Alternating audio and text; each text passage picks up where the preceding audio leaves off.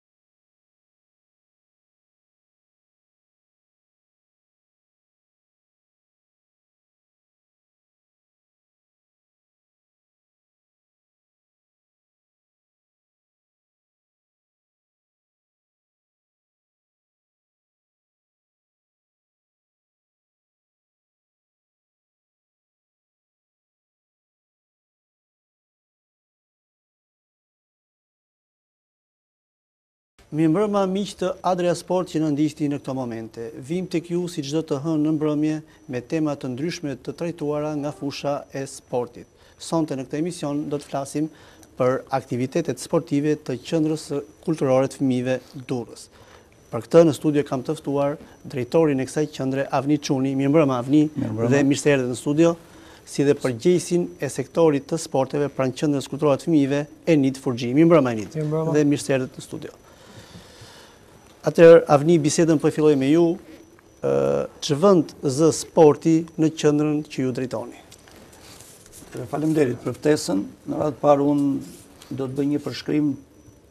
të përgjithshëm të punës së Qendrës Kulturore të Fëmijëve Durrës. Pa dyshim që është qendra më e madhe në Shqipëri e fëmijëve dhe ka fituar tashmë statusin si qendra ballkanike e fëmijëve të Shqipërisë. Për mua si drejtor, po edhe për stafin ku unë punoj, është krenari që të punosh në një qendër që ka një traditë të krijuar ndër vite dhe një përvojë kaq të madhe. Gjithë aktiviteti i qendrës kulturore të fëmijëve Durrësit, është i ndarë në dy drejtime kryesore. Në atë të veprimtarive me karakter masiv, që janë të karakterit lokal, kombëtar dhe ndërkombëtar, dhe në pjesën tjetër të punës me kurset mësimore që zhvillohen mbas mësimit.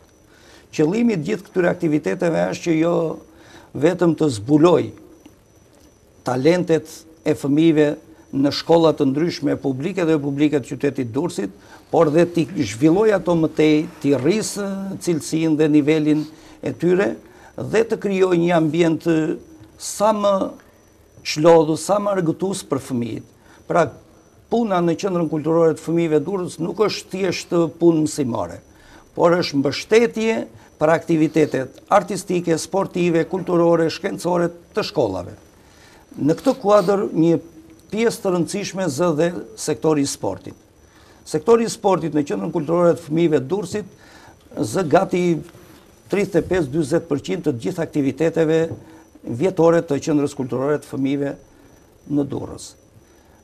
Këtë vit mësimor është fat që Ministria e Arsimit dhe Sportit, siç ka dhe emrin, i ka dhënë një prioritet të madh edukimit fizik në shkolla, duke futur sistemin tre orësh të fizkulturës, të fizkulturës në çdo klasë mësimi, gjë që kishte munguar prej vitesh dhe kishte larguar si të themi fëmijët dhe shkollat nga aktivitetet sportive. Dhe si ka ndikuar tek ju ky udhëzim? Po ky udhëzim ka ndikuar pozitivisht në aktivitetet sportive të qendrës tonë për faktin se duke u rritur ora e mësimit në shkolla, ora sportive, po. atëherë fëmijët janë të prirur ndaj sportit në gjitha disiplinat, kryesisht në futboll që është edhe loja më popullore, por dhe në lojërat e tjera, dhe kjo ka bërë që specialistët tanë të fushave të ndryshme, sepse përveç Enidit që është tashmë edhe si përgjegjësi i ri i sektorit të sportit që ka ardhur në Qendrën Kulturore të Fëmijëve pas disa vitesh, një specialist i mirëfilltë i futbollit, ka edhe specialistë të tjerë që janë instruktorë të jashtëm. Këtyre u jepet mundësia të zgjedhin tani më shumë fëmijë që kanë dëshira dhe talente në në disiplina të ndryshme të sportit, në futboll, në volejboll, në basketboll, në not, në ping-pong, në shah, e plot veprimtari të tjera, lojra popullore, gjimnastikë artistike, e të tjera veprimtari të këtij lloji. Pra, gama e veprimtarive sportive në shkolla sot është zgjeruar. Kjo për faktin që u fut sistemi tre orësh i mësimit në çdo klasë të sistemit parashkollor. Avni, sa aktivitete sportive zhvillohen mesatarisht në një vit, pranë qendrës suaj? Sportive zhvillohen 12 deri në 15 aktivitete të karakterit lokal, kombëtar dhe mbarëkombëtar. Se ju zhvilloni dhe aktivitete mbarëkombëtare. Mbarëkombëtare ne po. Edhe kjo është një traditë për t'u vlerësuar. Absolutisht, po unë e thashë që në fillim është fat Është krenari, është edhe mbështetje kaq e madhe të punosh mbi bazën e një tradite të krijuar ndër vite në qendrën kulturore të fëmijëve të Durrësit. Thashë që është qendër ballkanike e fëmijëve, e ka fituar këtë status tash, nuk ia kemi dhënë ne. Ne jemi krenarë që punojmë në të. E vërteta është që në këtë qendër, Përpara pesëmbëdhjetë njëzet vitesh është krijuar kjo traditë. Ne sivjet kishim dy aktivitete me karakter sportiv mbarëkombëtar. Për të thënë edhe ndërkombëtar, siç ishte ai muaj tetor i Fest Lojës, të cilën ju e keni transmetuar në emisionet tuaja, ku pjesëmarrja qenë tridhjetë e ca shtete, të ndryshme, me 33 grupe të niveleve të ndryshme, dhe në këtë kuadër u bë dhe u riorganizua kampionati mbarëshqiptar i futbollit për moshat 14-15 vjeç, midis 5 qyteteve me trevat shqiptare të Ballkanit, Durrësi, Tetova, Ulqini, Peja dhe Bujanovci. Kjo ishte një traditë që për 4-5 vitet e fundit kishte humbur. Ne u munduam dhe e rikthyem duke zhvilluar të njëmbëdhjetin kampionat këtu në Durrës ku kish filluar përpara njëmbëdhjetë vitesh. Dhe të dymbëdhjetin e kemi sivjet në Tetovë në fund të muajit prill. Si e shikoni organizimin e qendrës suaj në raport me qendrat e tjera në qytete të tjera? Sigurisht nga ato kontakte dhe bashkëpunim që ju keni me këto qendra. E vërteta është që Ministria e Arsimit dhe Sportit këtë vit mori në konsideratë ekzistencën e qendrave kulturore të fëmijëve dhe punën e tyre ndër vite. U bë një grup pune i hartuar nën drejtimin e drejtores së përgjithshme të arsimit parauniversitar në Ministrinë e Arsimit, zonjës Zamira Gjini, dhe U mblodhën të gjithë drejtuesit e qendrave kulturore në ministri. Në këtë grup bëj pjesë dhe unë si drejtori i Qendrës Kulturore të Fëmijëve të Durrësit, ku ne jemi mbledhur pastaj nën drejtimin e një inspektore të Ministrisë së Arsimit, zonjës Mariana Lako, disa herë dhe kemi diskutuar për vizionin që duhet të ketë qendra kulturore e fëmijëve në të ardhmen. Për arsye sepse tradita është traditë, kultura që kemi fituar dhe përvoja është përvojë, por në fund fundit ne duhet t'u përgjigjemi dhe interesave të sotme dhe të ardhme të fëmijëve. Dhe si është i prirur ky vizion? Vizioni është që... Drejt kujt?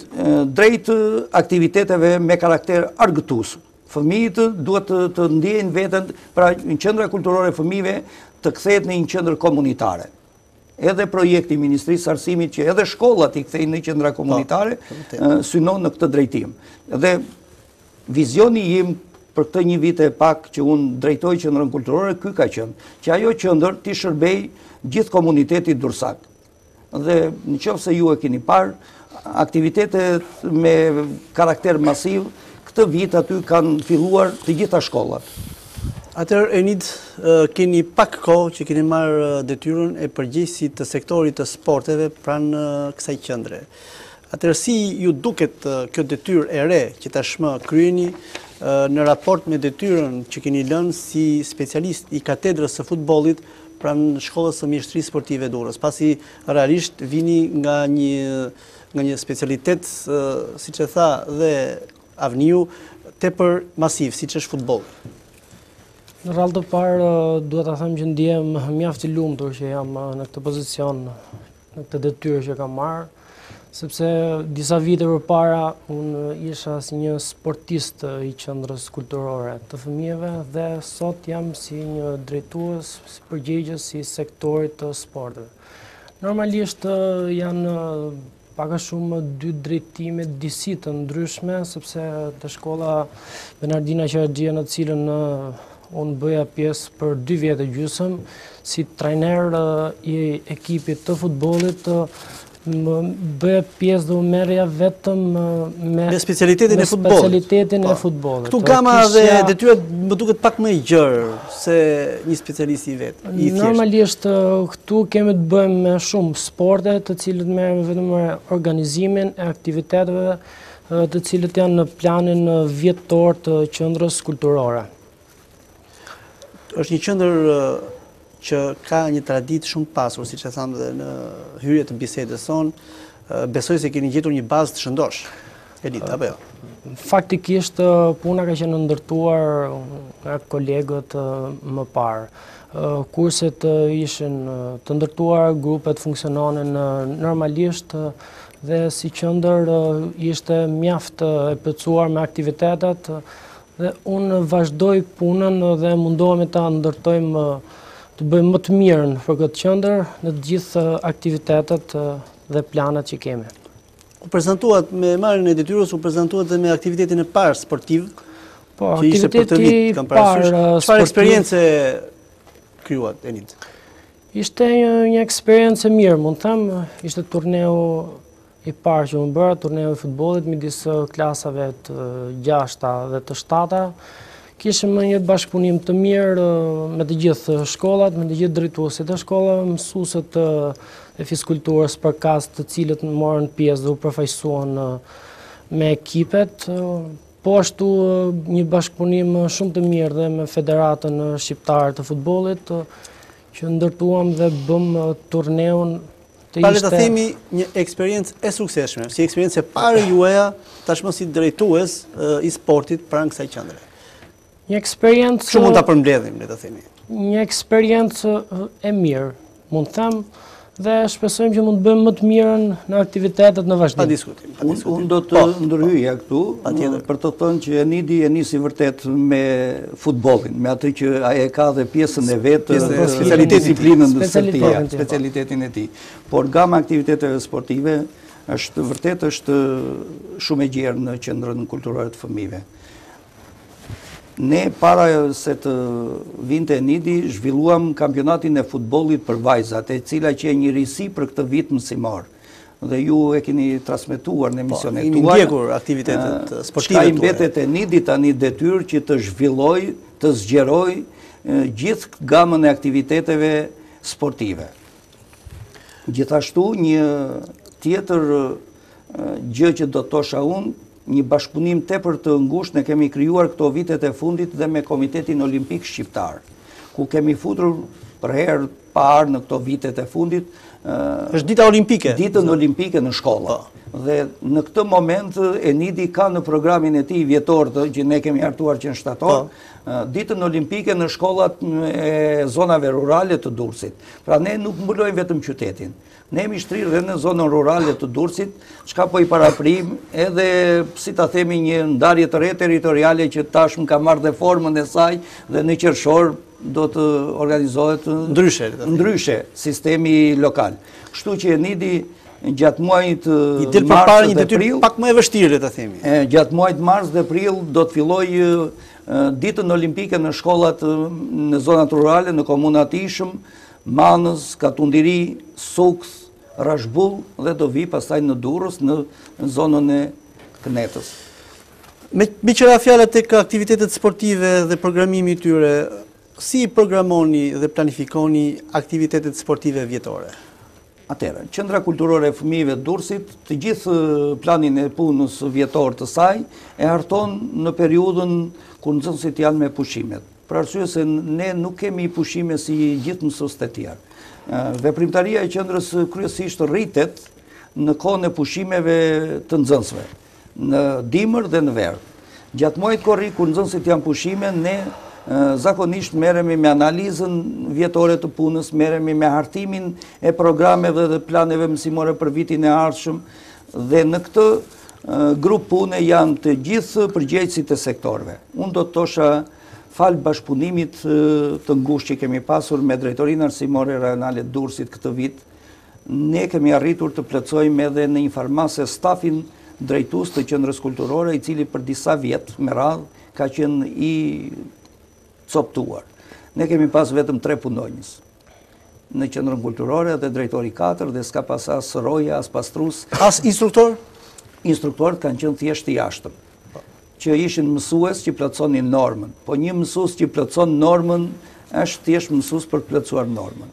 Ndërsa një specialist sporti, një specialist po them i informatikës, një specialist i artit që vjen dhe punon me pasion, nuk është njëlloj si një mësues që do bëjë orën e mësimit, sepse ai pikësynimin e ka në shkollën e tij. Megjithatë, ne jemi munduar të tërheqim nga shkollat mësuesit më me përvojë.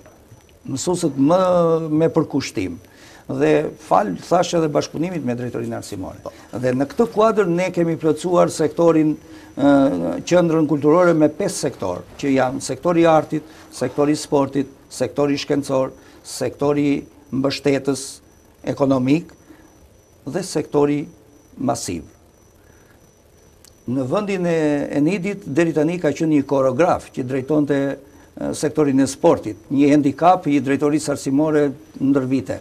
Megjithatë, unë dua ta falënderoj zotin Plaku edhe për punin që ka bërë në sektorin e sportit, edhe pse koreograf, sepse arti dhe sporti janë dy gjëra ngushësisht të lidhura me njëra tjetrën dhe nuk mund të funksionojnë pa njëra tjetrën.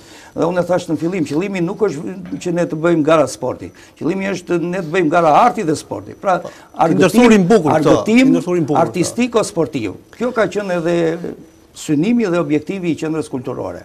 Gjithashtu, unë do të nxjerr një veti tjetër të aktiviteteve të qendrës. Qendra nuk merret vetëm me fëmijët, por Qendra Kulturore shërben dhe si një qendër metodike për mësuesët e edukimit fizik në shkolla.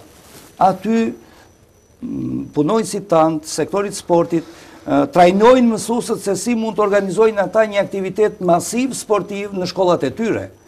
Pra, nuk është thjesht vetëm qëndër që merret me, me dhjetë nxënës të talentuar në futboll, në not, në shah, në pingpong, por dhe me mësusët e edukimit fizik. Ky mentalitet është futur tani, apo ka qënë pjesë e punës? Jo, ka qënë dikur Pjesa e trajnimit unë kam qenë mësues që qendra kulturore e fëmijëve Durrësit, ish shtëpia e pionerit që është quajtur në atë kohë, po, ka shërbyer si qendër metodike për gjithë Shqipërinë.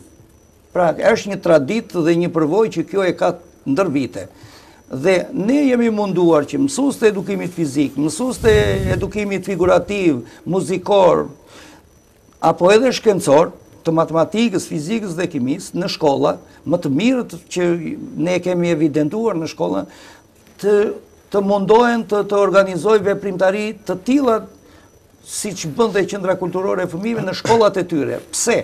Sepse duke mësuar ata në shkollat e tyre të krijojnë aktivitete të tilla, ne na jepet mundësia të zgjedhim, sepse instruktorët dhe përgjegjësit e sektorëve në fillim të vitit shkojnë në të gjitha shkollat e qytetit dhe në bashkëbizedim me mësuesët, me drejtuesit e shkollave, zgjedhin elementët më të mirë. Kur ka shumë kërkesa, si për shembull në kërcim, në valle e kështu, në sport, atëherë bëhet konkurs. Dhe elementët zgjidhen me konkurs, jo të gjithë mund t'i pranojnë.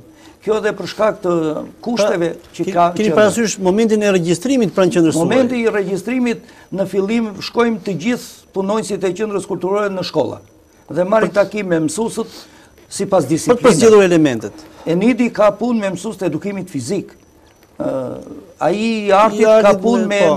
me artin, me vizatimin, me muzikën, me letërsinë. Ai shkencor ka me shkencat.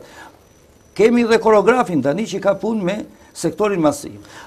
Cila është mosha minimale e pranimit pranë qendrës suaj? Keni një kriter moshe?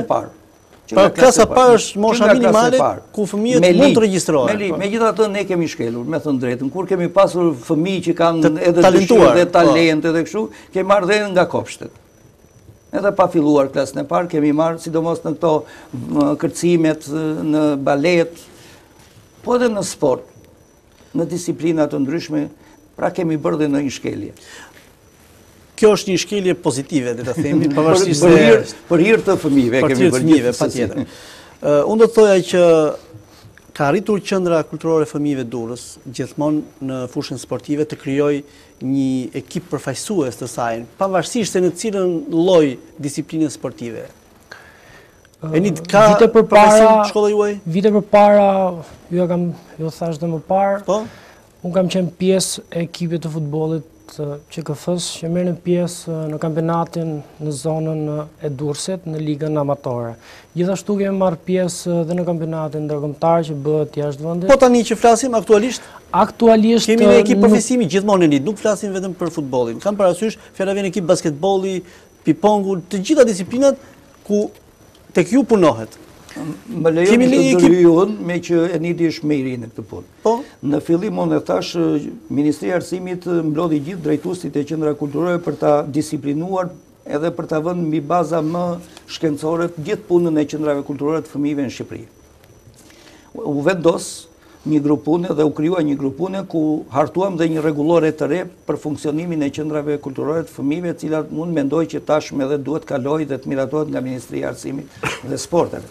Në këtë rregullore është vënë detyrë funksionale për qendrat kulturore të fëmijëve që vitin e ardhshëm ne të kemi përfaqësuesit në të gjitha disiplinat, jo vetëm sportive, por në të gjitha disiplinat, në art, në pra, sport, në shkencë. Pra ekipin përfaqësues të qendrës kulturore. Dhe Qëllimi është që me këto ekipe ne të njëherë të përballemi brenda për brenda vendit. Për shembull, po marr si shembull qendrën kulturore të fëmijëve Durrësit dhe të Vlorës. Po. Të shkojë ekipi i futbollit të QKF-s Durrës me ekipin e futbollit të QKF-s Vlorë dhe të bëjë një ndeshje miqësore, një ndeshje kampionat, Dhe e shikoni të mundur, Avni, sepse kemi po. kam parasysh edhe edhe vështirësitë financiare për të realizuar aktivitete të tilla kombëtare. Unë mendoj që si mendon? Me pak vullnet, me pak vullnet dhe me me pak dëshirë më shumë nga ekipet e bashkive përkatëse, kjo punë është tërësisht e realizueshme.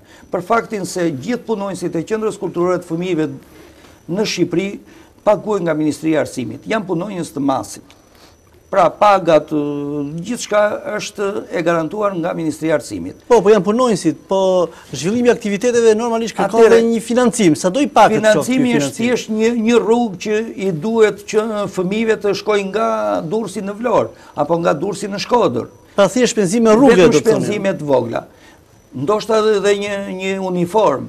Megjithatë, po duhet një mjet që do të do të ka një angazhim në të themi. Qendra kulturore e fëmijëve nuk e ka. Ka pasur mos gaboj një mjet. Ka pasur një mjet vite më parë apo jo Ka pasur më parë po, një mjet. Ka para disa vitesh po. ai mjet është shitur për faktin se ka qenë i vjetëruar po, jashtë standardeve dhe në këtë moment nuk kemi. Por realisht Unë kam bërë kërkesë dhe Bashkisë Durrës që ai mjet i duhet jo vetëm qendrës, po ai nuk është i qendrës, sepse do t'i shërbejë dhe punonjësve tjerë të bashkisë edhe sektorëve tjerë. Ai do jetë në dispozicion. Dhe e shumta do punësohet dhe një shofer. Se s'ka asnjë gjë të keqe, për faktin se lekët e transportit që ne bëjmë me fëmijët, po të bëjmë një llogari matematike të thjeshtë, ne i nxjerrim brenda një viti për atë mjetin e QKF-së. Një udhëtim që unë bëra vitin e kaluar në Stamboll, me nxënësit e QKF-së, një udhëtim tjetër në Sarajevë, një udhëtim tjetër në Prishtinë, një udhëtim tjetër në Maqedoni, pra 4-5 udhëtime në vit, jashtë shtetit, vetëm me tenderat online që ne zhvillojmë për të prenotuar një autobus, dalin lekët sa për të blerë një të ri. Kështu që vetë bashkia po të bëjë ca llogari matematike të thjeshta. Mbase do t'i dalë më mirë kështu siç. I del më mirë ta ketë dhe punëson dhe një njeri, hap dhe një vend pune dhe ka qenë dikur. Ka qenë dikur. E vërtetë është ka qenë. Por fondet krizat ekonomike kanë bërë që e kanë tkurrur pak. E vërtetë. Edhe fondet e QKF-së kanë ardhur duke rënë, megjithatë unë do ta gjej rastin, nëpërmjet ekranit tuaj, të falënderoj Bashkinë Durrës për mbështetjen e vazhdueshme që i ka dhënë Qendrës Kulturore të Fëmijëve dhe të gjithë veprimtarive që ajo ka zhvilluar, sepse pa një mbështetje nuk mund të bëhet. Ka shumë qendra kulturore që e vuajnë Ndërsa këtu është krijuar një traditë, edhe pse vitet e fundit fondet janë rrudhosur, unë jam koshient edhe për shkak të situatave ekonomike që ka kaluar gjithë rajoni, por prapë se prapë bashkia e Durrësit e ka pas në vëmendje qendrën kulturore të fëmijëve. Falënderim edhe një herë.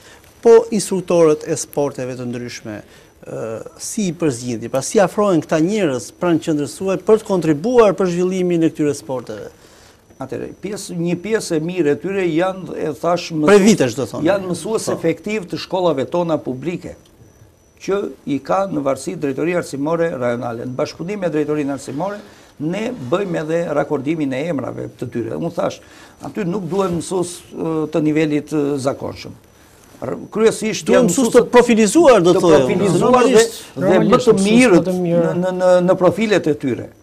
që të zhvillosh punë me, me një sport, me një disiplinë, nuk duhet një mësues i zakonshëm fizkulture, duhet një mësues specialist shumë mirë. Pikërisht, unë në këtë këndvështrim e kisha. Atëherë, pasi aty hidhen dhe bazat tek një fëmijë, të marrësh një mësues fizkulture të zakonshëm dhe t'u shpjegosh atyre boksin fëmijëve, pra drejtoria arsimore ka inspektorët e saj që ka pasur dikur edhe ekipin e kontrollit dhe evidenton punën e gjithë shkollave.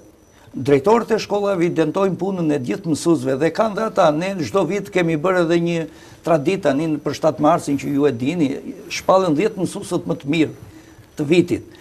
Këta mësues nuk është se janë në një fushë, këta në fusha të ndryshme dhe nga këta ne zgjedhim. Në bashkëpunim dhe me drejtorinë e arsimit. Po, po për sportin është pak specifikë e veçantë. Për sportin sepse fjala vjen cili nga ata 10 mësues ishin ishte fjala vjen mësues i i profilizuar në sport. Besoj asnjëri. Jo, ka pasur edhe nga sporti ka pasur. Sepse s'ka pas ndoshta këtë vit, ka pas vitet e kaluara. Kuptoj, po por sporti ka një specifikë të veçantë. Drejtoria, drejtoria e shkollës së mesme sportive. që ka pjesën më të madhe të specialistëve, po kështu edhe drejtoritë e shkollave që kanë specialistët e tyre, bashkëpunim me drejtorinë e arsimit dhe me qendrën kulturore, ne kemi marrë edhe një pjesë të mësuesve që kanë plotësuar dhe normën në qendrën tonë, kemi marrë dhe kemi angazhuar instruktorët në kurse dhe disiplina të ndryshme të sportit. Dhe unë Shpreh mirënjohjen për të gjithë ata instruktorë që kanë punuar edhe më përpara, po edhe tani që unë kam pak kohë këtu, për angazhimin e tyre, për përkushtimin, edhe për seriozitetin që kanë patur në punë apo dhe në veprimtari dhe aktivitete masive. Unë dua të përmend aktivitetin e djeshëm me rastin e Ditës së Verës që qe një aktivitet sa artistik aq edhe sportiv. Karnavalet në qytetin tim dhe Dita e Verës, nën mbështetjen e gjithë drejtorive të shkollave, të mësuesve të edukimit fizik, të mësuesve të edukimit muzikor dhe figurativ, drejtoritë e shkollave u angazhuan masivisht, Dhe ne arritëm vetëm me stafin e qendrës kulturore të realizonim një koncert artistiko-sportiv për gjithë qytetarët e Durrësit në ditën e verës. Ç'raporte keni me drejtuesit e shkollave apo me mësuesit e edukimit fizik në shkolla, pasi janë ata që udhëheqin aktivitetet sportive sigurisht të shkollave respektive, apo me federata të ndryshme ku ju keni një klimë mjaft të mirë bashkëpunimi, siç është Federata Shqiptare e Futbollit e federata të tjera. Si janë këto raporte mes jush? Unë e thashë dhe në fillim. Unë si drejtor kam raporte me drejtorin e arsimit dhe drejtuesit e shkollave, ndërsa përgjegjësit e sektorve kanë me specialistët e sektorve përkatës. Po. Kështu që i takon tani Enidit të krijojë raportet e reja të tij me mësuesit e edukimit fizik në shkolla. Për sa i përket drejtorive të shkollave dhe drejtorisë arsimore, unë përfitoj edhe nga fakti që kam qenë pjesë e stafit të drejtorisë arsimore për gati 4 vjet dhe një pjesë të mirë të drejtuesve të shkollave i kam kolegët e mi dhe raportet janë sa miqësore, aq edhe zyrtare, edhe profesionale, edhe ligjore. Kështu që dua t'i falënderoj të gjithë. Pra është një bashkëpunim i fuqishëm. Është një bashkëpunim shumë i mirë dhe shumë i ndërsjellë ndërmjet shkollave. Unë e thashë, ne fitojmë prej tyre dhe krijojmë mundësi për gjithë fëmijët e qytetit, po edhe për ato familje që nuk kanë mundësi t'i çojnë në kurse private fëmijët, po, por i bien aty, por zhvillojmë dhe talentet. sepse ne po flasim për sportin, por mos harroni... Po flasim për talente, normalisht. Po flasim për sportin si sektor, mos harroni që para dy javësh ne u kthyem nga Mali i Zi në festivalin e këngës për fëmijë, ku vajza që ne çuam atje dhe këndoi live, fitoi vendin e tretë, dhe ishin shtete jo më pak të fuqishëm se ne, si Rumania, Hungaria, Kroacia, Serbia, Franca, po pastaj Mali i Zi, Maqedonia e të tjera. Pra, këto janë arritjet që ka fituar dhe përvoja që ka fituar qendra kulturore në gjithë sektorët. Sektori i sportit sivjet ka marrë një zhvillim të ri. Dhe unë e thashë në fillim, ne kemi si objektiv kryesor për vitin e ardhshëm dhe i del tani detyrë Enidit, si përgjegjësi i ri i sporteve që të krijojë ekipet përfaqësueset të sportit për QKF-në, në të gjitha disiplinat. Ka filluar puna që këtë vit, ka filluar puna në të gjitha disiplinat, në disiplinat e lojrave me dorë, në disiplinat e futbolit, për vajza dhe djem bëhet fjalë.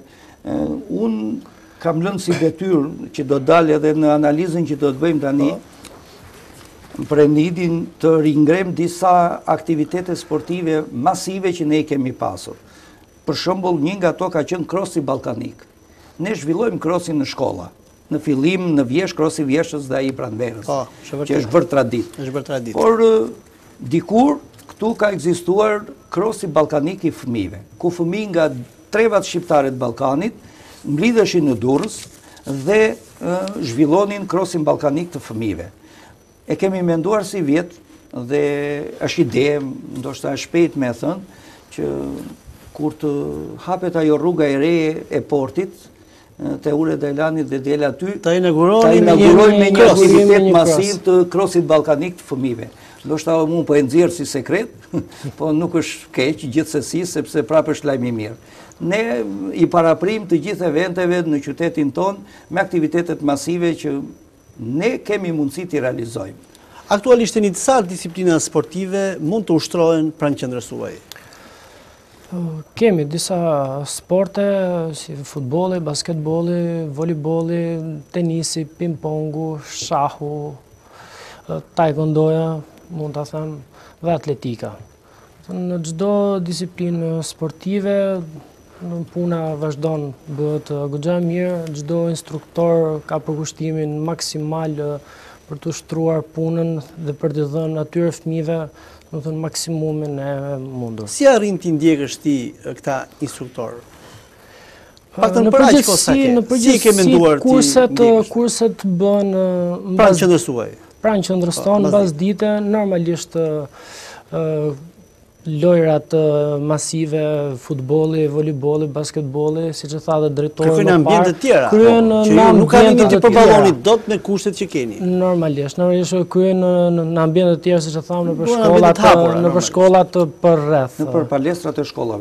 Jo, palestrat e shkollave. Po këtu besoj keni një bashkëpunim të mirë me drejtoritë, e thatë dhe pak më parë. Po, po, ajo as që diskutohet.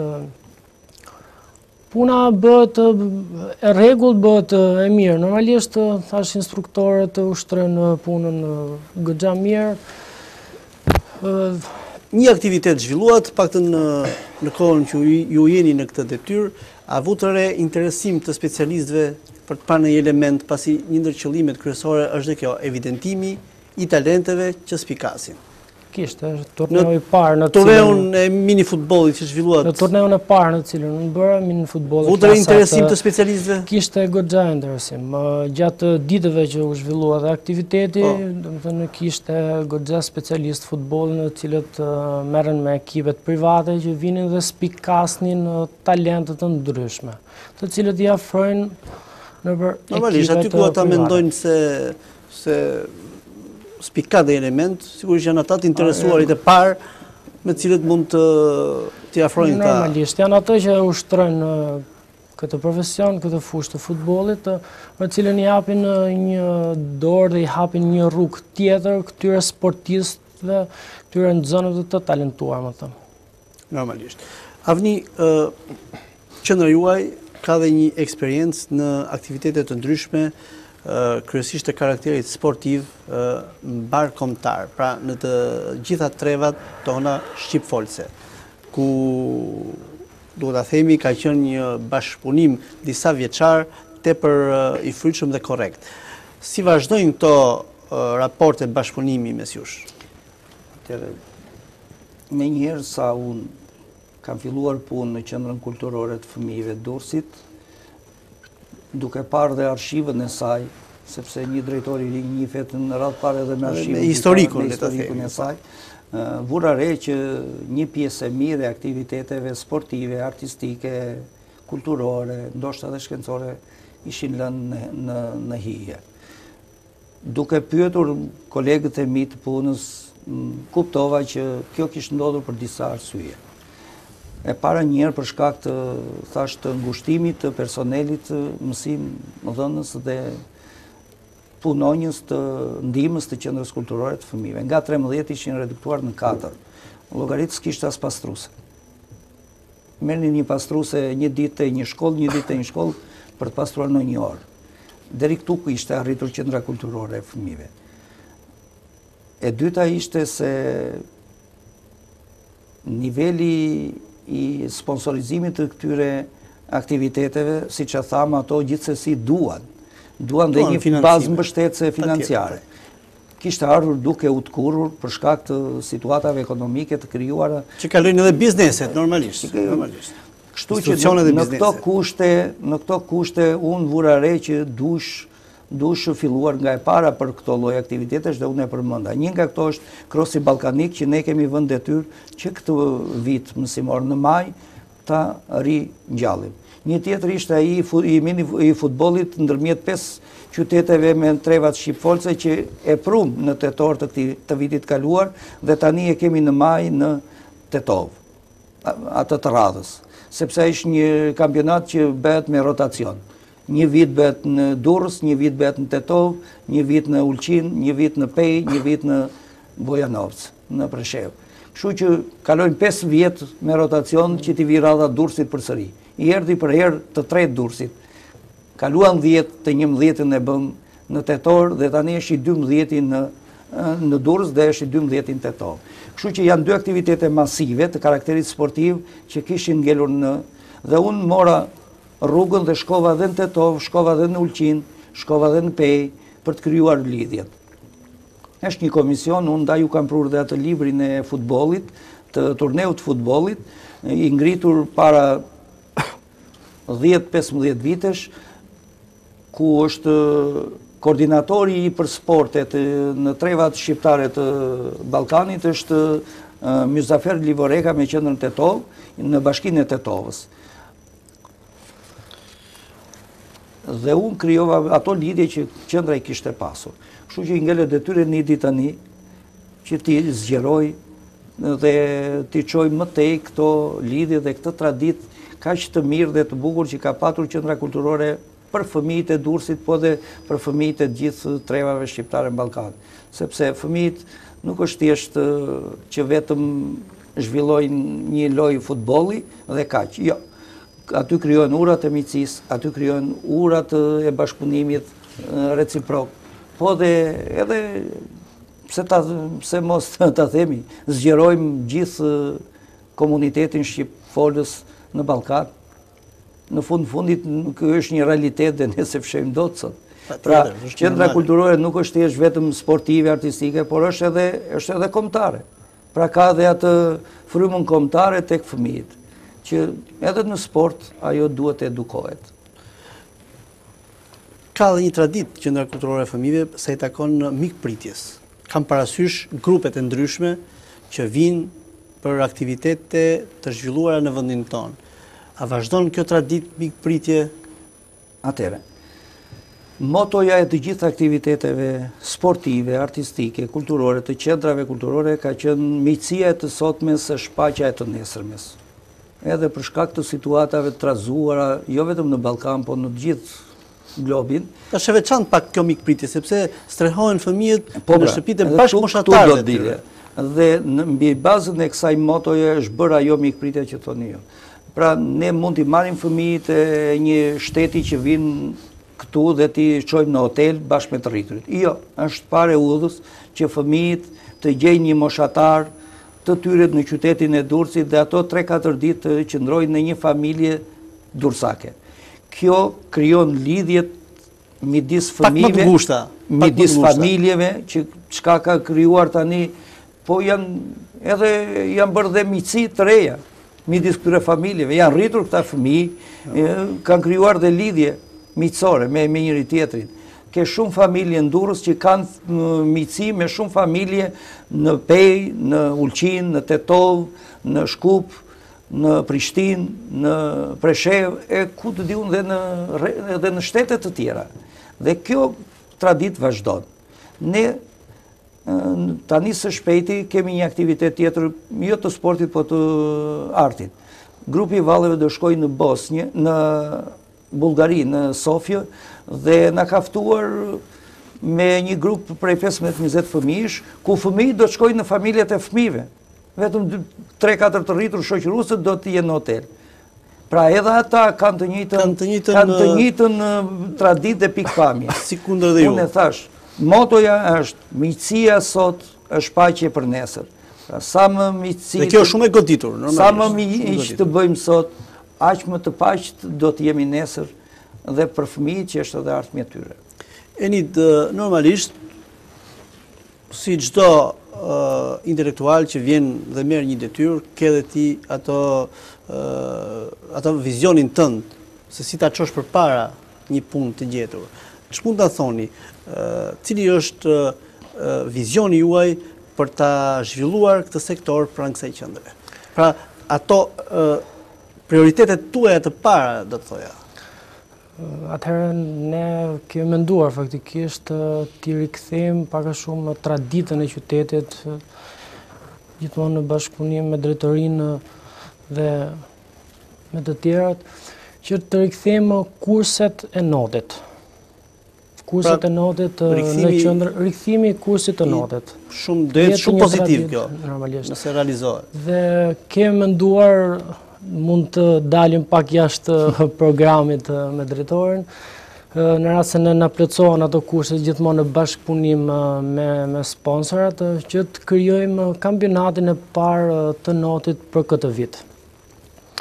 Plus pikësynimi im për vitin tjetër, siç e thamë, është që në të gjithë fushat e sportit ne të kemi ekipin përfaqësues në në çdo kampionat. Pra një tjetër prioritet i yti, me sa kuptoj, po. Siç është në kampionatin e futbollit, që të marrim pjesë në kampionatin e zonës që bëhet nga zyra rajonale, ashtu dhe për volejbollin, basketbollin dhe të gjithë fushat e sportit.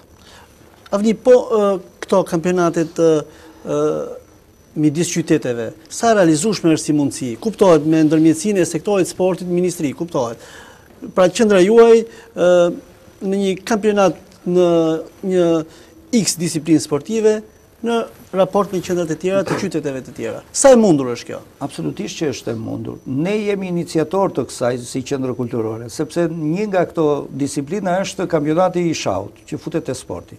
Dhe ne nuk është se e kemi sivjet për herë të parë kampionatin, e kemi realizuar dhe vjet dhe më parë. Është i disati vit radhazi. I katërti, po, i pesti vit radhazi që Qendra Kulturore e Fëmijëve Durrës organizon kampionatin kombëtar të shahut. Bile unë do thosha edhe më gjerë, edhe ballkanik, sepse ka ardhur edhe nga Maqedonia, edhe nga Kosova, edhe nga Mali i Zi. Kanë ardhur përfaqësues Një, dy, ka pasur më pak, po kanë ardhur. Dhe këtë vit ne kemi zhvilluam kampionatin lokal këtu në Durrës, kanë zhvilluar të gjitha qendrat kulturore, kampionatet lokale të tyre të shahut, dhe unë kam kontakte tani të vazhdueshme me qendrat kulturore të fëmijëve, që nga Saranda deri në Shkodër, për datën si kur do organizohet. Ata kërkojnë tani, sepse edhe ata kanë nxjerrë, evidentuar, nxënësit fitues në rrethet e tyre. Do jetë pra- diçka pozitive mendoj unë. Absolutisht. Do jetë diçka po. pozitive. Pra një një një aspekt i sportit është bërë tashmë realitet që realizohet për të tretën, të 4 herë vit radhazi. Kështu që në, si puna e kampionatit kombëtar të shahut është e mundshme edhe me kampionate të tjera. Unë thashë me pak vullnet jo vetëm nga qendrat, por edhe nga bashkitë, që të krijojmë mbështetje financiare. Siç është për transportin e fëmijëve me një autobus ato dy ditë që do të vijnë të bëhet kampionati. Për shembull kampionati i shahut, Ministria e Arsimit e ka përcaktuar në Durrës, ia ka lënë Durrësit detyrë funksionale. Ne kemi detyrë nga Ministria e Arsimit të organizojmë kampionatin kombëtar të shahut. Ju realisht, pavarësisht dëshirës suaj, apo të një qendre tjetër kulturore, në një rreth tjetër, Për ta organizuar këtë aktivitet dhe të ta kthejmë në në një traditë, ju e shikoni dhe mendoni se gjeni vullnetin e duhur nëpër bashkitë respektive? Pra, për të qenë pak edhe realist në atë projekt që ne mendojmë ta lançojmë. E para njëherë unë do të thosha që varet edhe nga shumë nga drejtuesi. Me thënë të drejtën, në qoftë se drejtuesi shkon dhe rri atje ke karrika në zyrë gjithë ditën, normalisht që s'do bëjë asgjë. Drejtuesit e bashkive? E qendrave, e qendrave. E qendrave. Po. Sepse sot, siç tha dhe Nidi, nuk është thjesht vetëm buxheti i shtetit, ka dhe sponsorë, ka dhe dashamirës të sportit, të artit, të kulturës, që edhe sponsorizojnë, se ne pak gjëra na duhen.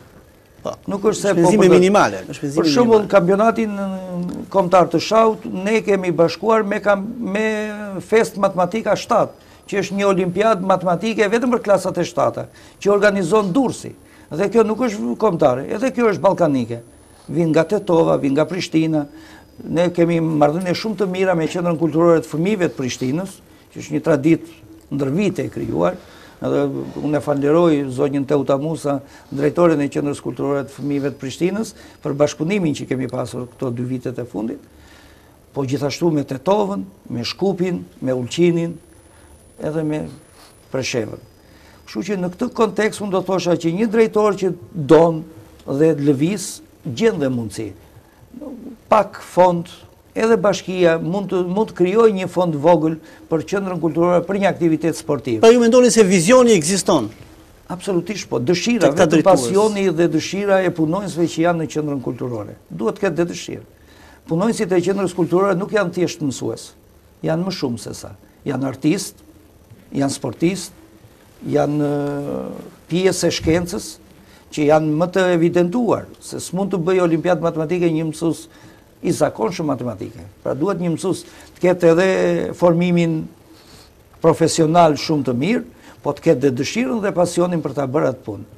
Nuk mund ta bëjë punën me pasion një mësues i zakonshëm, po s'qe një, një specialist i mirë i futbolit, i basketbolit, i volejbolit, a ku di unë i disiplinave të tjera. Pra duhet pasion, duhet vullnet, duhet dëshirë, duhet edhe dëshirë për ta bërë një punë. Dhe unë mendoj që edhe drejtorët e qendrave kulturore po të lëvizin një çik diçka do të lëvizë për mirë. Sepse edhe Ministria e Arsimit unë e thashë që sivjet i ka dhënë prioritet sidomos sportit. Duke duke bërë dhe Ministria e Arsimit e Sportit, edhe emrin e ka ia ka vënë pikërisht Një pjesë të sportit. Dhe qendrave kulturore, siç e thatë dhe ju pak më parë. Pra, absolutisht është në projekt të rinovimit të gjithë aktivitetit të qendrave kulturore. Me thënë të drejtën, sikur kishin rënë në një farë qetësie përveç Durrësit edhe disa qyteteve të mëdha në Shqipëri që ka. Pjesa tjetër... Pjesa tjetër janë, në mos gaboj, rreth 39 qendra kulturore në gjithë Shqipërinë që funksionojnë. Ne si Durrës kemi fatin e mirë që kemi dy, Se ka dhe Shijaku. A Shijaku ka një qendër më vete? Ka një qendër më vete dhe meqë do jemi dhe dy bashki, është shumë mirë që çdo bashki të ketë qendrën e vet kulturore dhe do të shërbejë edhe ajo komunitetit të asaj bashkie që do të mbulojë. Ku administron? Sepse Shijaku merr pjesën nga Maminasi, Gjepale, ku dy unë Xhafzotaj, kështu që është një komunitet... Do të ketë një mundësi ta zgjerojë aktivitetin. është një komunitet goxha i madh, Durrësi ka 26 mijë nxënës. Gjithsej, në sistemin parauniversitar, nuk është se ka pak. Ne si Durrës kemi njëzet e ca mijë. Enid, i keni marrë kontaktet e para, le të themi, me bashkëpunëtorët tuaj të federatave të ndryshme, pra keni filluar kontaktet e para për aktivitetet e ardhshme, normalisht. Keni marrë ato takimet e para të punës, le të themi? Faktikisht, kontakti i parë që kam pasur, në bazë dhe të falje dhe të kalendarit aktivitetit që ne kishim kontakti i parë ka qenë me përgjegjësen e federatës përgjegjësen e federatës zyrës rajonale të Durrësit bashkëpunimi që ne kishim për uh, turneun uh, për futbol. Mini turneun që kishim në aktivitet normalisht. Aktivitetin e futbollit. Por gjithashtu po bëhemi gati për dhe aktivitetin e shahut që kemi në plan. Kemi marrë kontakt jo? me Komitetin Olimpik Kombëtar. Është Federata Kombëtare e Shahut, kemi dhe sekretaren e përgjithshme zonjën Majlinda, kemi një bashkëpunim shumë të mirë dhe gjej rastin ta falënderoj. Dhe është një aktivitet shumë masiv, me çfarë kam parë vjet keni punuar, s'gaboj keni bërë aktivitetin e parë. Edhe sivjet themi ta bëjmë në një në një vend shumë masiv dhe shumë të shumë. Vjet e bëtë tek Florida, te Florida kemi bërë ku bëmë dhe matematikën edhe tek ajo kupola e Floridës në po, jashtë, po, në ambient po. të jashtëm. Dhe doli pra, doli një aktivitet mendoj shumë i bukur ku edhe fëmijët u kënaqën, u argëtuan, po edhe edhe luajtën dhe fituan. Kështu që Enidit Tani i del detyrë që unë e kam prezentuar kryesisht me drejtorët e shkollave, me të cilin ai ka punë dhe me mësuesët e edukimit Ajo është fizik. aktiv- Bashkëpunimi më i Pastaj, shpeshtë, le ta them. Pak nga pak në çdo aktivitet ky do shfaqet në Federatën e Shahut, në Federatën e Lojrave me Dorë, në Federatën e Gjimnastikës. Është shumë e rëndësishme sepse këto federata një ju mbështesin me me Po edhe me një bazë materiale, edhe me materiale, me gjyqtarë dhe një bashkëpunim do të thoja jo në nivelin e kërkuar, normalisht ndikon dhe në nivelin e vetë aktivitetit, apo jo? Absolutisht, po dhe ne unë jam i kënaqur nga bashkëpunimi që kemi pasur këto vitet e fundit me gjithë përfaqësuesit e federatave. Edhe ata kanë qenë të interesuar. Dhe si duket në Durrës kanë gjetur edhe këtë frymë, edhe frymën pozitive të aktiviteteve, sepse qendra e Durrësit me të vërtetë, jo pse jemi ne sot, sepse ne, unë thashë, është fat për ne që punojmë në këtë qendër. Është një traditë prej 70 vitesh. Ajo këtë vit ka 70 vjetorin e themelimit të saj. që unë nuk e thashë në fillim, po po e them tani prej fundi, dhe është një traditë 70 vjeçare. Të mendojmë dhe të shpresojmë që me fillimin e vitit mësimor të bëjmë dhe një aktivitet masiv për 70 vjetorin e kësaj qendre, sepse e meriton. Atëherë Enid vini nga shkolla e mjeshtërisë sportive, një shkollë kombëtare me mjaft peshë do të thoja në fushën sportive nga specialiteti i futbollit, siç e thashë edhe në hyrje të emisionit. Keni drejtuar edhe një ekip që quhet Shkëndija e Durrësit, po, i cili merr pjesë në aktivitetet kombëtare. Ka qenë eksperienca ime e parë për dy vjet e gjysmë. Së fundi kam pasur ekipin e U 17-ës, të para të rinjve që e quajmë. Të para të rinjve, po. të Shkëndijës së Durrësit, të cilën përfaqësonin dhe merrnin pjesë në kampionatin kombëtar. Kam kaluar një fazë të parë, dhe pastaj u krijua dhe shkëputja, që unë erdha në këtë detyrë të re. Dhe është një eksperiencë goxha e bukur, Unë këtë ekip vazhdoj normalisht ta ndjek sepse edhe pse u shkëputa, kisha krijuar goxha relata dhe me grupin isha munduar të bëja më të mirën që ai grup të ecë përpara. Faktikisht çdo punë kërkon atë përkushtimin dhe kohën e vet. Koha Në këtë detyrë të re që kam marrë normalisht më krijon pak atë shkëputjen, por jam munduar ta ndjek javë javë pas javë. Normalisht ka qenë me ato rezultatet e veta pozitive, negative. Më tepër tek grupet e të rinjve nuk kanë shumë rëndësi rezultatet se sa evidentimi i talenteve. Grupi, grupi që kam bërë... A ka qenë një grup cilësor, pra, kishtë shkolla grup cilësor? Ka qenë me të vërtetë një grup cilësor. Ka pasur goxha lojtarë të mirë, lojtarë me perspektivë, që unë shpresoj normalisht Që ata të ecin përpara. Me punën dhe dëshirën që ato kanë, të ecin, të vazhdojnë dhe të bëhen dikushi në jetë. Enid, po, e po, e vërteta është që po, shkolla sportive e Durrësit është kombëtare, në fakt. Por baza kryesore e gjithë kësaj shkolle është brumi i nxënësve që vijnë nga shkollat e Durrësit. Dhe shumica e fëmijëve janë nga Durrësi, me thënë të drejtën. Kështu që Enidi aty ka gjetur vërtet një Ta ban shumë të mirë, siç e tha dhe vetë, që ka ardhur nga Qendra Kulturore e Fëmijëve të shkollave të Durrësit. Çka unë them që tani e ka ai për detyrë të gërmojë në gjitha kolektivat e shkollave tona të qytetit për të gjetur elementët pikant në gjitha disiplinat. Dhe përse jo të fuqizojmë shkollën me talenta të reja që të vazhdojnë përpara. Edhe diçka tjetër, Enid, normalisht këta element kam parasysh pjesën më cilësore, normalisht, pjesën më cilësore të grupit. Shikojmë pak element që përparojnë dhe shkojnë në ekipet e para. Fjala vjen, në aq kohë sa kishit ju në drejtim të këtij ekipi, a ka vajtur ndonjë element te ekipi i Teutës? Ndodh një fenomen i çuditshëm, po. pra kemi talente, por nuk i shikojmë te ekipet e para. Atëherë, duhet të pranojmë në moment që lojtari mbaron nga ekipet zinxhir të moshave, siç është dhe ekipi U nëntëmbëdhjetës, po. që futet në ekip të parë, është disi e vështirë. Një lojtar i ri të përballet me lojtarë cilësorë është disi e vështirë, por prapë lojtarët talent, mund të them, i është hapur rruga.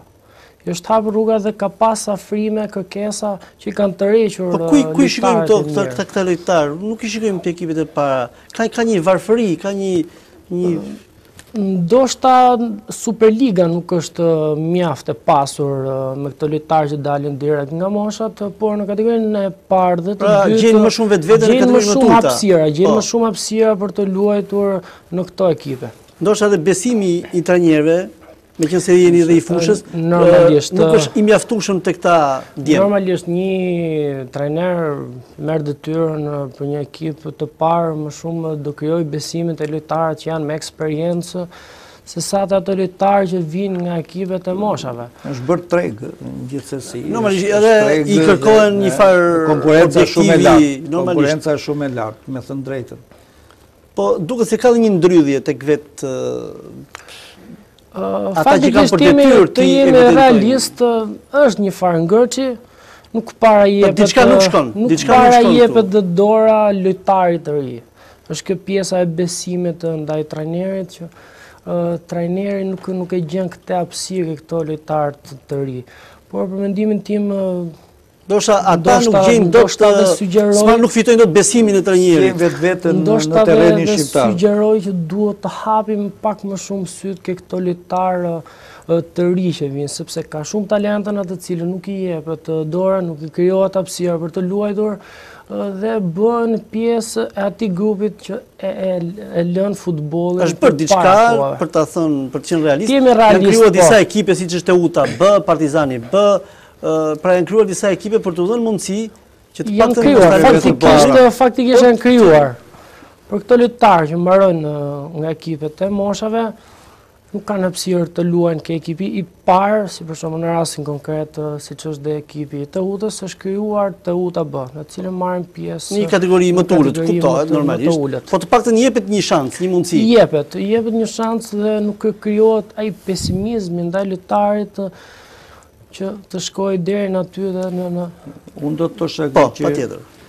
Meqë Enidi është edhe i fushës, në momentin që është prezantuar si punonjës në QKF, dhe ne patëm atë aktivitetin e parë të futbollit që ishte edhe i profesionit, Ta i qëlloj i qëlloj i të themi më qëlloj fati po, më më thamë. U mendua që të bëhej një, një farë diferencimi i moshave dhe u bë futboll midis klasave të gjashta dhe të shtata. Dhe u lanë të tetat dhe të nëntat më vete. Po ndërkohë, nga diskutimet që patëm dhe me ata specialistët e Federatës së Futbollit të Durrësit, U mendua që veç këtyre klasave të fillojë një minikampionat futbolli me më të vegjlit. Duke filluar që nga klasa e 2, e 3, e 4, me këta më të vegjlit për të parë, ata thjesht nuk është se janë futbollistë. Sepse një djalë që të bëhet futbollist, duhet fillojë që në klasë të parë, që në klasë 2, dhe të vijë duke u rritur. Po thjesht të bëjë një lojë, për të parë se... Se këta i shikojnë me syrin e specialistit, për të parë, a janë 4-5 djem që e kanë qejf futbollin, që e kanë qejf, se edhe në lëvizje duket që e kanë qejf, një specialist arrin të kuptojë diçka. Dhe ne këtë kemi si synim që vitin tjetër, që ne të fillojmë që nga fillorja, të krijojmë ato ekipet mini zinxhir të QKF-së. Në klasa e parë, 2-të, 3-të bashkë, e 4 e 5 bashkë, e 6 e 7 bashkë, pra t'i ndajmë sipas grupmoshave, po. se këta nuk të lënë, se edhe kockat e tyre janë të njoma, nuk mund të luajnë me më të rritur. Një klasës 4, 5, një klasës 8, pra, normalisht, normalisht, është shumë e vështirë. Këta për këtë punë ka si detyrë Enidi në specialitetin e vet, që e kemi diskutuar në programin që do të hartojmë për vitin tjetër. Faktikisht në bazë të programit vjetor të qendrës tonë, kemi dhe kampionatin turneun e mini futbollit të klasës së dytë, të tretë dhe të katërt, të pestë, të cilin po bëhemi gati do ta zhvillojmë një javë mbrapa. Pra, do të thoni që është aktiviteti më i afërt? Aktiviteti më i afërt është turneu i mini futbollit të klasës së dytë, të tretë, të katërt dhe të po, pestë. Po. Dhe më vjen mirë sepse shkresa e parë që unë kam dërguar njoftimi i parë, mund ta them për të gjithë shkollat, më janë përgjigjur shumë shkolla me ekipet pjesëmarrëse të klasës së dytë dhe të tretë. Një klasë, një moshë e vogël, por që janë të gatshëm me dëshirën mbi të gjitha të marrin pjesë në këtë aktivitet. Enid, është e vështirë t'i menaxhosh gjithë këta fëmijë, kuptohet ti ke edhe ndihmën e, e mësuesve të tyre normalisht. Po them që a është e vështirë t'i menaxhosh të tilla aktivitete, sidomos kur bëhet fjalë për sporte kolektive, aq më tepër për futbollin që është shumë masiv, dhe fëmijët e kanë shumë dëshirë, nuk ka fëmijë Që ta pyesësh dhe mos ketë qef fjala vjen futbollin. Sa e vështirë është? Faktikisht të thashë, në falë bashkëpunimit që ne kemi me instruktorët tanë, plus me kolegët dhe mësuesët e shkollave përkatëse, aktiviteti ecën goxha mirë. Që e vërteta po. është që nuk mund ta bëjë vetëm Enidi aktivitetin sportiv, është e pamundur. Ndaj dhe ne formuam sivjet sektorin masiv, që është ish përgjegjësi i sektorit sportit, koreografi jonë, Zoti Plaku. Ai ish përgjegjësi i sektorit masiv dhe ka shkuar në pozicionin e vet tani. Sektori masiv është ombrella e gjithë sektorëve të tjerë në QKF. që bën, si të themi, organizimin dhe atë platformën artistike të aktivitetit. Pra, rregullatori. Është rregullatori po, i gjithë po. aktivitetit. Që bën, thashë, se nuk është thjesht vetëm garë sportive. është edhe artistike. Dhe ky është edhe qëllimi i gjithë aktivitetit. Kështu që duke qenë të gjithë, ne punojmë si një, si një skuadër. Jemi 5-6 veta tani dhe jemi të gjithë një skuadër. Pak jemi, po prapë jemi skuadër. Të gjithë shkojmë Në një aktivitet, kur ka aktivitet. Aty kur u bë dje po. aktiviteti, nuk ishte vetëm sektori masiv, apo sektori i artit. Ishim të gjithë. Që nga unë, pastrusja, e pastaj të gjithë këta instruktorët, edhe instruktorët që vijnë mbasdite, pra të gjithë ishim atje. Plus, mësusit e shkollave, drejtusit e shkollave, edukatoret e kopshteve, drejtorët e kopshteve, Ishim të gjithë së bashku. Dhe duke patur një bashkëpunim të tillë të ndërsjelltë, aktiviteti realizohet. I lehtë nuk është. Të bësh një aktivitet masiv nuk është gjë e lehtë. Pavarësisht se një është i ri, është i ri dhe nuk e ka ndoshta përvojën, por e lehtë nuk është të organizosh aktivitete të karakterit masiv. Pa një bashkëpunim të tillë. Por unë thashë, falë traditës që ka kjo qendër, falë përvojës që ka fituar ndër vite, edhe të atyre punonjësve të tjerë specialistë të qendrës, që janë vërtet specialistë, po edhe të dëshirën dhe pasionin me të cilën ata punojnë, ne arrijmë që shumë gjëra t'i përballojmë edhe me edhe vetëm me me me drejtuesit e shkollave, me nxënësit dhe me mësuesit tanë. Nuk është e lehtë, me thënë të drejtën, do, do pasion, do përkushtim, do kohë. Atje je nga mëngjesi në darkë, je paradite, je mbasdite, je të shtunën, je dhe të dielën. Atje s'ka festë. Ne dje kishim festë gjithë, ne s'kishim festë, ne kishim aktivitet. Festë ishte dhe ajo, që bëmë ne. Por, për, do përkushtim. I dhuroni të themi pak kënaqësi të tjerëve. Absolutisht, ky është, ky është misioni. Ky është misioni i qendrës, kjo është detyra. Derisa ne e kemi pranuar këtë detyrë, Duhet t'i qëndrojmë korrekt. Ky është misioni i saj, që ajo t'u krijojë hapësirë të gjithë qytetarëve. Ajo nuk është vetëm për fëmijët, por është edhe për prindërit e atyre fëmijëve. Unë thashë, vizioni i Ministrisë së Arsimit dhe i Sportit, po edhe vizioni jonë është që ajo të kthehet në një qendër të rëndësishme komunitare. ku prindërit të kenë aksesin e tyre, fëmijët të kenë aksesin e tyre, mësuesit dhe specialistët të gjejnë veten e tyre në të. Të gjithë së bashku të përbëjmë ekipin që t'u krijojmë sa më shumë ambient sportiv, artistik, argëtues fëmijëve, pse jo dhe prindërve. Mund të themi se tashmë interesi edhe i prindërve, sigurisht, është më i madh vitet e fundit për të qenë pjesë e e bashkëpunimit me qendrën tuaj, sipas dëshirave dhe, dhe atyre kërkesave që kanë fëmijët e tyre, kuptohet, në fusha të ndryshme. Po, unë do të theksoja që kam vënë re këto dy vitet e fundit që shumë prindër, edhe të moshave të reja, janë shumë të interesuar për fëmijët në disiplina të ndryshme, të artit, të sportit, të shkencës. Dhe kryesisht me sa shikoj janë familje që vijnë nga emigrimi. Shumë familje që janë kthyer nga emigrimi. Që ka një mentalitet tjetër, më të zhvilluar. Po ndërkohë edhe fëmijët i kanë pasur në këto kurse të tilla jashtë vendit ku kanë jetuar dhe punuar. Po. Dhe ata janë shumë të interesuar dhe vijnë edhe tani që ne jemi në fund të vitit, po, po ta shikojmë kështu si vit mësimor, ata vijnë për t'u regjistruar. Realisht regjistrimet bëhen shtator tetor. Por ne edhe tani shtojmë sepse ne nuk kemi regjistër mungesash. Nuk është se ne marrim mungesa në kuptimin e regjistrit tradicional të klasës dhe të orës së mësimit. Por një farë rregulli ka dhe aty. Megjithatë unë kam lejuar që këta nxënës që vijnë dhe kanë dëshirë dhe pasion në një fushë të caktuar të artit apo të sportit, të shkencës a të kulturës, le të futen në grupet dhe të vijojnë ato orë mësimi që kanë mbetur, ato orë aktivitetesh që ne kemi përpara. Dhe shoh që mentaliteti i prindërve është që të afrohen sa më shumë. Drejt kujt të priren më tepër prindrit? Kryesisht janë tek sporti dhe tek arti. Pra këto janë dy fushat? Janë fushat më të kërkuara. Vallet, kërcimet, aerobike, grupet, balet, pikturë, art, piano, por edhe të gjitha llojet e sportit, kryesisht futbolin që ka e nidi, po edhe llojet e tjera të sportit. Ping pong, shah, vitin e kaluar më del një nxënës nga Sukthi. Dhe më thotë drejtori, kam një nxënës që është përgatitur vetë, është i talentuar, dhe ne nuk e kishim të planifikuar se ishte shkollë rurale.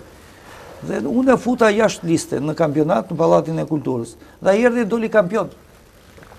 në klasat e teta, dhe doli kampion dhe në shkallë kombëtare pastaj, kur u bë në maj, faza finale. Pra, ka nxënës të talentuar gjithandej, që kanë dëshirë. Mirëpo, unë thashë edhe në fillim, edhe ambienti që kemi ne në QKF është i reduktuar për shkak të amortizimit që ka kjo qendër, siç thashë ka 70 vjet. Mos gaboj dhe një pjesë e mirë e ndërtesës nuk funksionon. Nuk funksionon, është akorduar... A ka në një... Në një... Kemi një shkresë, të mirë kemi një lajm të mirë, është akorduar një fond nga Ministria e Arsimit dhe Sporteve për atë pjesë, që mund të një, një pjesë të saj mund të shfrytëzoni për mund ta shfrytëzojë drejtoria e arsimit po, për zyrat e saj, po me atë rast fitojmë dhe ne se një kat më poshtë ne e marrim për ambientet e punës tonë.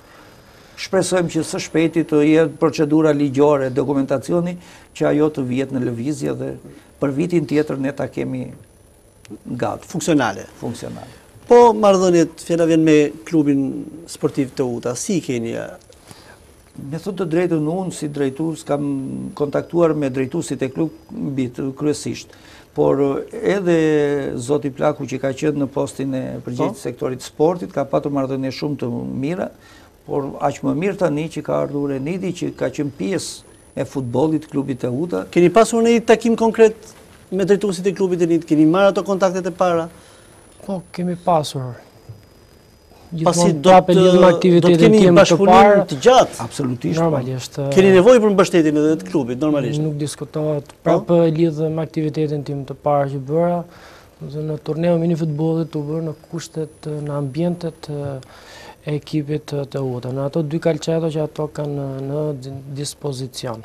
Më të mirat që kishin, i vunë në dispozicion të aktivitetit tonë. Po, aktivitetit të fundit. Po.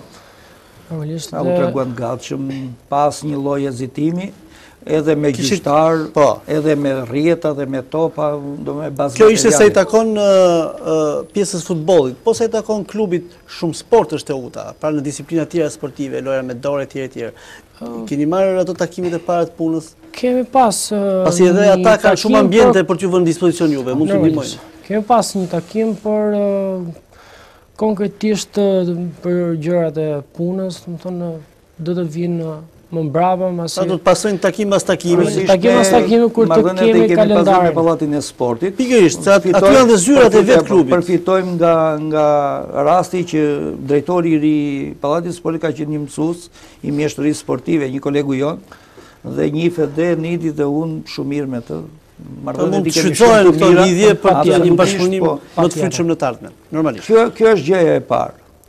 Unë e thashë, nëse aty ku jemi ne nuk punohet si një skuadër, nuk mund të arrihet rezultati dhe dëshira i dëshiruar dhe i planifikuar. Është e pamundur që një sektor vetëm të realizojë një aktivitet masiv. Prandaj ishte domosdoshme. Pa mbështetjen e gjithë aktorëve. Mbështetjen. Jo, po është e kuptueshme. Unë gjej rastin, faktikisht, Dua të falenderoj, sepse në moment që erdha dhe mora detyrën e re këtu si përgjegjës i sportit, si çdo punë që kërkon eksperiencën e vet, pata një një ngroftësi, një një një një afrimitet edhe nga kolegët që janë aktualisht po. të kësaj qendre aty. Atëherë, këtu kemi arritur në fund të këtij emisioni. Unë ju falenderoj për këtë bisedë të zhvilluar në studio, ku kemi folur për aktivitetin sportiv të qendrës suaj, e thashë dhe e ripërsëritëm disa herë, është një traditë e shkëlqyer dhe mjaft e pasur që kjo qendër ka, ka, ka arritur, le të themi, të krijojë ndër vite.